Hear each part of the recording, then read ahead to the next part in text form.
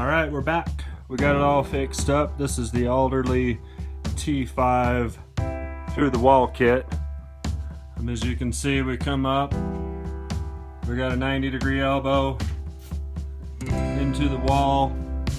We've got the proper wall thimble. And if you come inside here, you can see we've got a T with a clean out and an access door we cut out the connection on the box.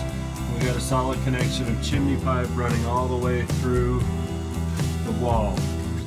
So anytime you are going through a 2x4 wall, you must have 2100 degree Class A chimney pipe through the 2x4 wall with the insulated T connector to double wall or single wall pipe and then coming down to your stove.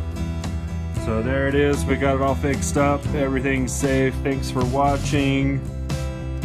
Maple Mountain Fireplace, this is Matt.